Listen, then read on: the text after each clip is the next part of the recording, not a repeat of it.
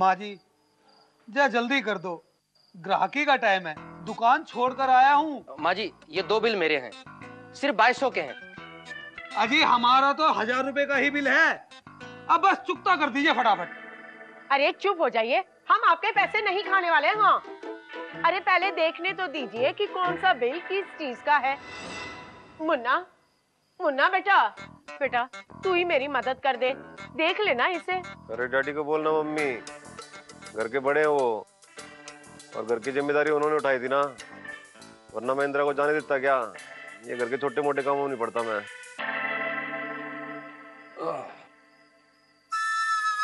आप? आप? आप कहाँ गए थे जी? वो कुछ बैंक का काम था ज़रूरी। ये लोग कौन है? वही जो ये घर चलाते हैं। हंसिए मत। जी ये है ना सामान वाले हैं। महीने का बिल चुकाना है इन्हें। अब आप ही ये सब देख लीजिए। देख लीजिए ना। हैं? कब से खड़े हैं? अरे लेकिन ये सब खर्चा कब हुआ? पता नहीं है। कब हुआ कब हुआ क्या मतलब होता है डैडी? घर का खाना पीना थोड़ी रुकता है किसी के जाने से या किसी नए के आने से? अजी हिटलर दीदी कहाँ हैं? अ, वो बाहर गई है किसी काम से शहर से बाहर। इसीलिए अगर हिटलर दीदी होती तो उधारी इतने दिन ना रखती। दादाजी बुआ कहाँ है? बेटा कहा है ना? हाँ? जाओ यहाँ से। बड़ों के बीच में नहीं बोलते हैं।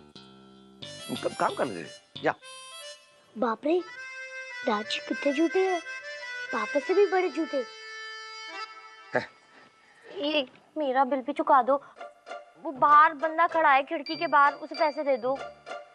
ये किस चीज़ का बिल है बहू? पिज्जा का। अरे वो मैदे वाली खमीरी रोटी होती है ना जिसके ऊपर सब्ज़ी और चिकन रख के खाते वही। अच्छा कुटुम वो सवेरे तुम्हें पैसे दिए थे ना? उसमें से तुम जरा ये ओ डैडी डैडी नहीं नहीं नहीं भाई। उसे हाथ नहीं लगाएँगे। उसका हिसाब तो बाद में करेंगे। उसको रहने दो आप।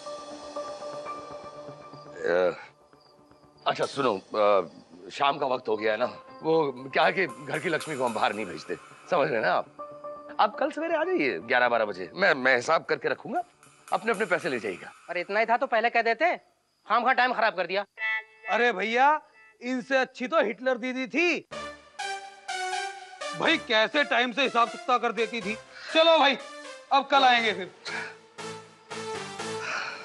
चाय पी लो जी आप ठंड बहुत हो गई है। ओहो। शर्मा जी नमस्ते। अरे गुलाटी जी आप नमस्कार। आइए आइए ना। बैठिए। हाँ जी हाँ जी हाँ जी आज वकील साहब। वकील साहब पेपर्स जी अब बाबूजी कुछ पेपर्स लाया हूँ। अभी जी साइन कर देंगे ना तो कल रजिस्ट्री का काम पूरा हो जाएगा जी। कल सुबह 11 बजे रजिस्ट्री है। रजिस्ट्रार के सामने फाइनल कॉन्ट्रैक्ट उसी के सामने साइन होगा। आप लोग पहुँच जाइएगा। ठीक 11 बजे? अरे दस मिनट पहले पहुँच जाएँगे जी। ग्यारह की क्या बात कर दिया आपने? सारे के सारे हम टेंशन मत लो आप। ग्यारह बजे? बुआ को बताना पड़ेगा। हेलो हेलो बुआ। Hello hello Ishan. कल सुबह ग्यारह बजे रजिस्ट्री है। राजू घर बेच रही है।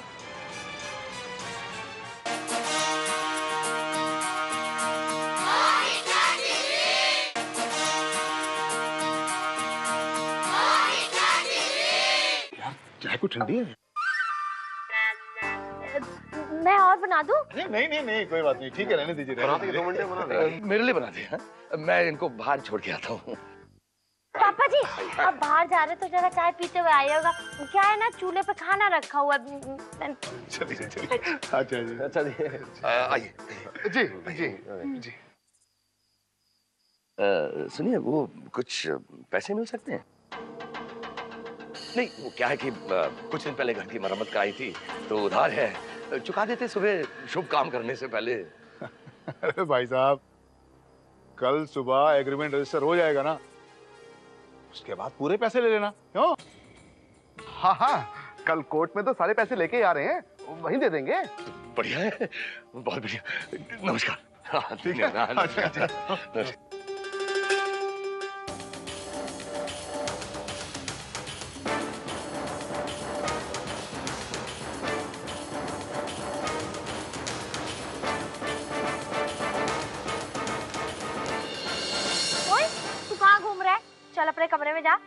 सूट बदल खाना खा और सो जा। कल सवेरे मेरे को भी बड़ी जल्दी उठना है। पता है रजिस्ट्री कराने जाना है। चल चल निकल चल। अरे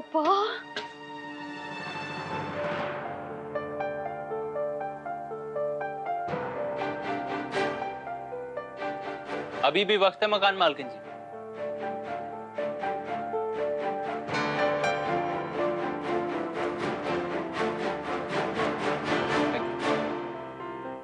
आपने अपनी आँखों से देखा था ना? हुँ? एक बात और बताता हूँ मकान मालिक छल को छल से और बल को बल से ही जीता जा सकता है। आप अपनी अच्छाई के चक्कर में अपना मकान खो देंगे और फिर बाद में खुद को ही दोषी ठहराएँगे। क्या कहा था विदित भैया ने? अपने घर को बचा लो इंदिरा। कहा था ना? इन्हें ना गलत मत समझना। वो मुझे झुम्पा है ना, उसने ही इनको घर से बाहर निकाल दिया। मैंने अपनी आँखों से देखा कि ऐसे ही सड़क पे पड़े हुए थे? मैं अब अपनी गलतियों का प्रायश्चित करने आ गया हूँ। अपने परिवार के पास।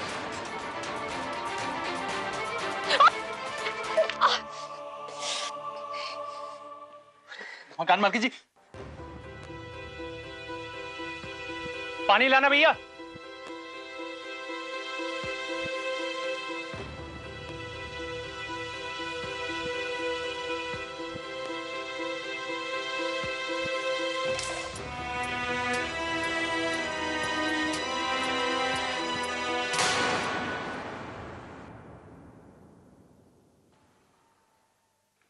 रहने दीजिए।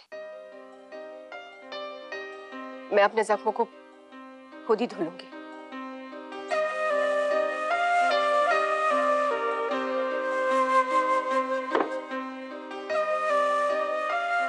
ठीक है मकान मालकिन जैसी आपकी मर्ज़ी। जो आप कहें। बताइए कहाँ चलना है? दो रास्ते हैं जहन्नुम या क्या? क्या करेंगी जानकर रातों रात कागजात तैयार करा दूँगा। मेरे दोस्त का ऑफ़िस यही पास में ही है। देखिए मिस्टर किराएदार? ऋषि कुमार इंदर शर्मा ने सिर्फ़ डील की और सिर्फ़ टोकन एक्सचेंज हुआ है।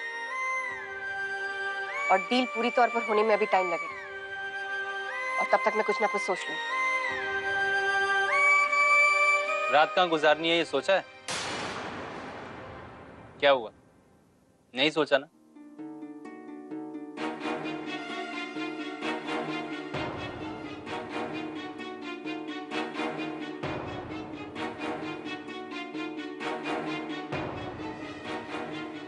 Hello hello Radhe.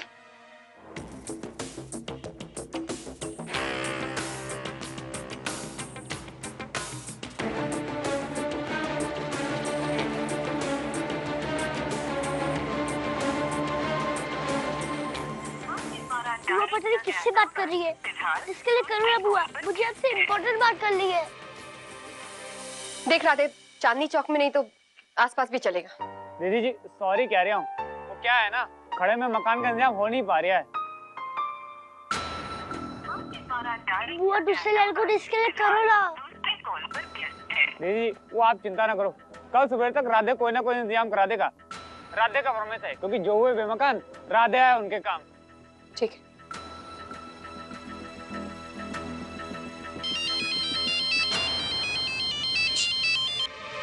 हेलो बुआ कल सुबह 11 बजे घर के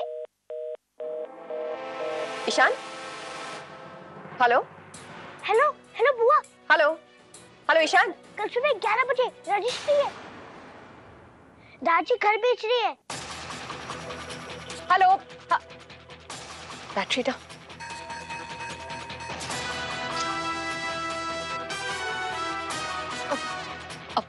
आपका फ़ोन मिल सकता है क्या? हाँ।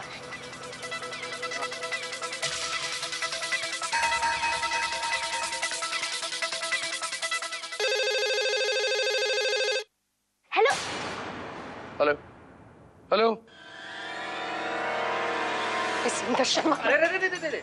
मकान मालकिन जी मेरा फ़ोन है ये। लाइए। दीजिए दीजिए। लाइए। सॉरी सुनिए शांत हो जाइए आप। अभी जो मैं कह रहा हूँ उसको आराम से सुनिए। मेरा एक दोस्त है उसका घर है जिसकी ये बाइक है। उसकी बाइक की चाबी में उसके घर की चाबी आ गई मेरे पास। वो शहर में नहीं है। तो उसके घर में आराम से दो तीन दिन रहते हैं। किसी को कोई पता भी नहीं चलेगा और फ़र्क भी नहीं पड़ता। वैसे भी आर्टिस्ट मिजाज है। किसी के काम आएगा तो उसे खुशी होगी। चलें।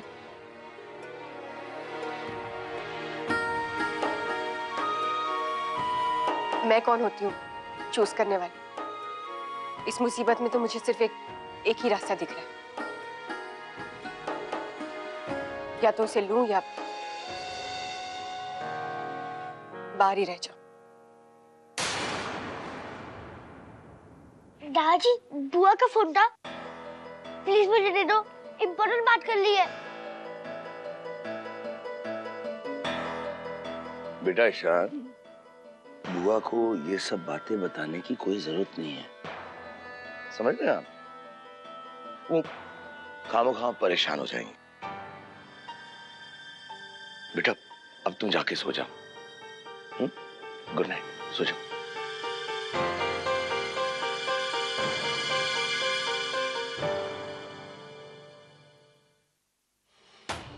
को किसी भी तरह ये पता नहीं चलना चाहिए कि हम ये घर बेचने वाले हैं।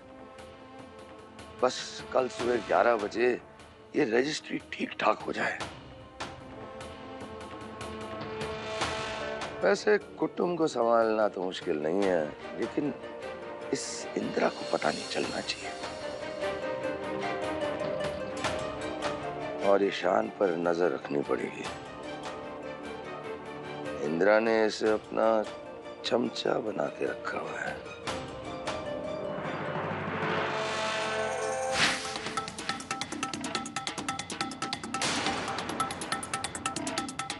ईशान, क्या कहा था मैंने आपसे?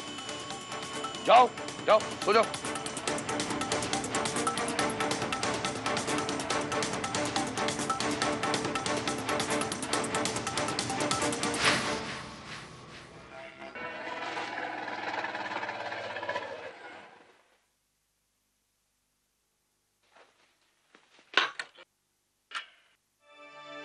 आइए मकान मालिक।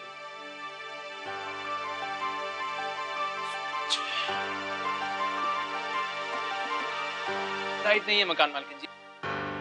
आइए। वो सामने स्टैचू के पास एक कैंडल और माचिस रखी होगी। निकाल लीजिए।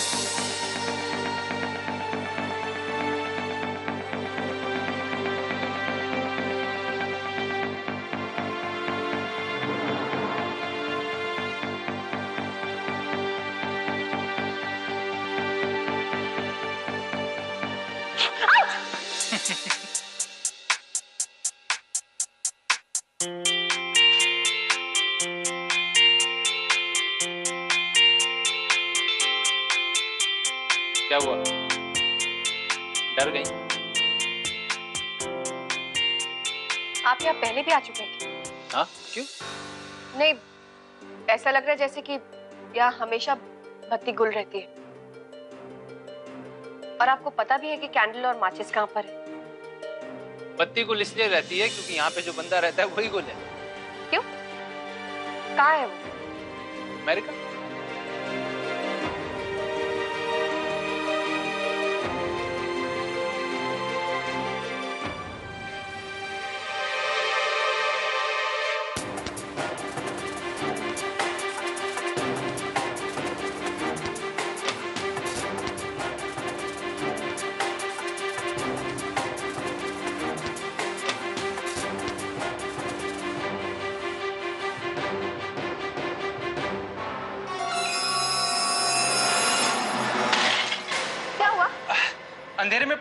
कैसे गिर गया क्या आप ही कीजिए ना। ये समेट दीजिए मैं कुछ देखता हूँ इसको उठाने के लिए। प्लीज़ देखिए ना।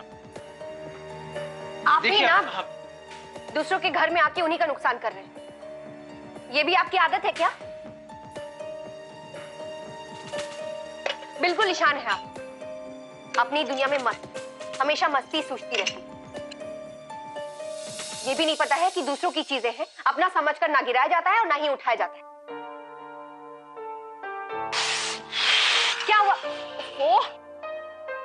काट लिया ना, तब से कह रही थी मैं। एक मिनट, अभी ठीक हो जाए।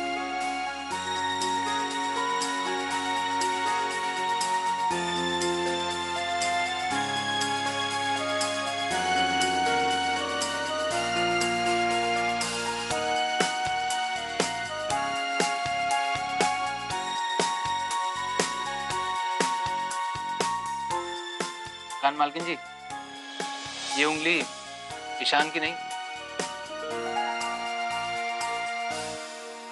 मेरी है।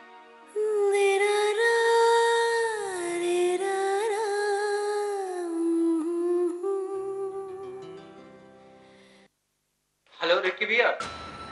जी नहीं वो यहाँ पर नहीं है। कोई मैसेज है तो बता दीजिए।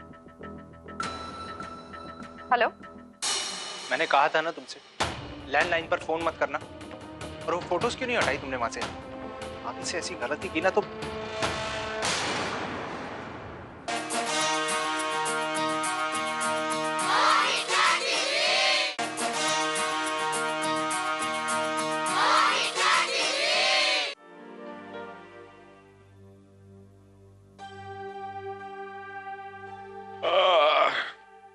मिसेस बस आज रात की गरीबी और मुफलिसी है।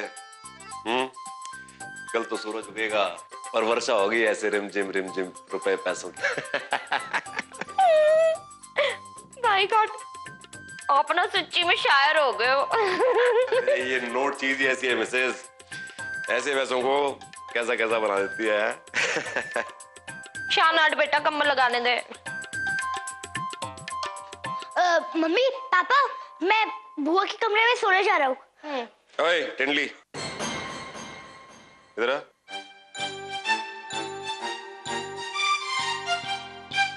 क्या हुआ? आज तो यहाँ सोएगा। मेरे और तेरी मम्मी के बीच में। नज़र रखनी है तेरे ऊपर। दादाजी बता रहे थे कि हरकतें बढ़ गई तेरी। बड़ी यहाँ की वहाँ कर रहा है हाँ?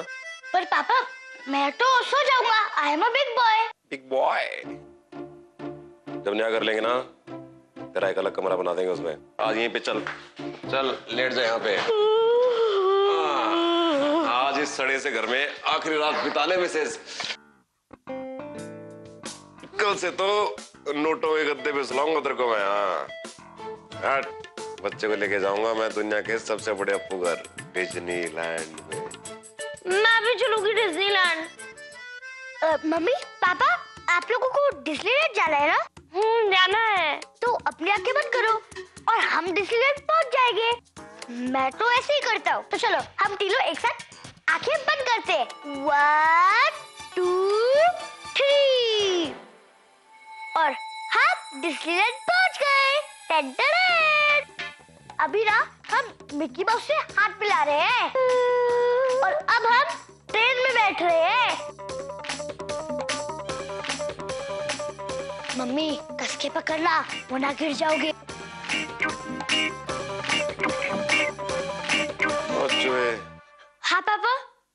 चश्मा तो उतार के सोया कर यार। सपना तो बिना चश्मे के भी दिख जाएगा जरा। थैंक यू पापा।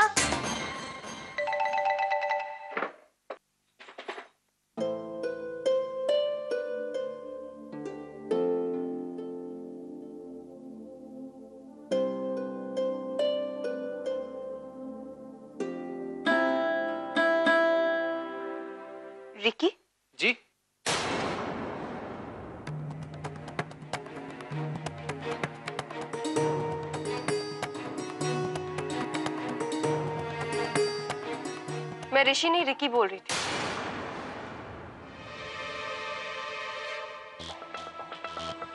आपका दोस्त काफ़ी आर्टिस्टिक है। छोड़िए ना आप बताइए करना क्या है? अब? अब कर भी क्या सकते जिसका घर है उसी की कदर नहीं। वरना ऐसे स्केचेस कूड़े में नहीं पड़े होते।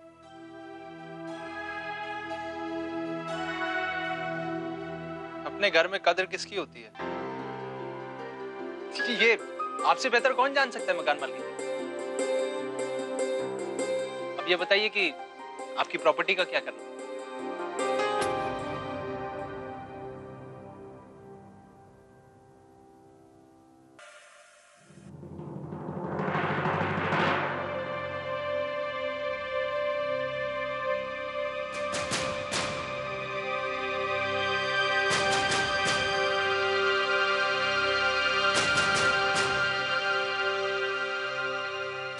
आप बाहर क्यों बैठे हैं जी? इतनी ठंड है। आप अंदर आ जाइए। अंदर आकर सो जाइए ना। अब मैं मैं बस आता हूँ पेपर पढ़ लूँ। आप जाइए अंदर मैं मैं आ रहा हूँ। ठीक है जी। मैं आपका इंतज़ार कर रही हूँ। हाँ हाँ ठीक है।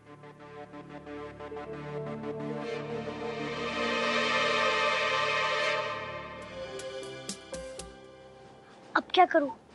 मैं बुआ को कैसे फ़ोन करूँ? आइडिया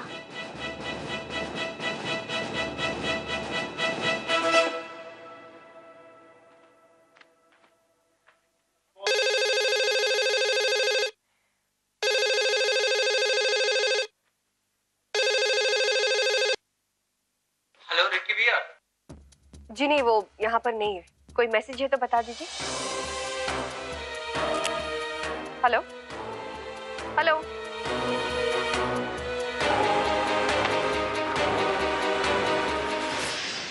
मैंने कहा था ना तुमसे लैंडलाइन पर फ़ोन मत करना। और वो फ़ोटो क्यों नहीं हटाई वहाँ से तुमने? आगे से ऐसी गलती की ना तो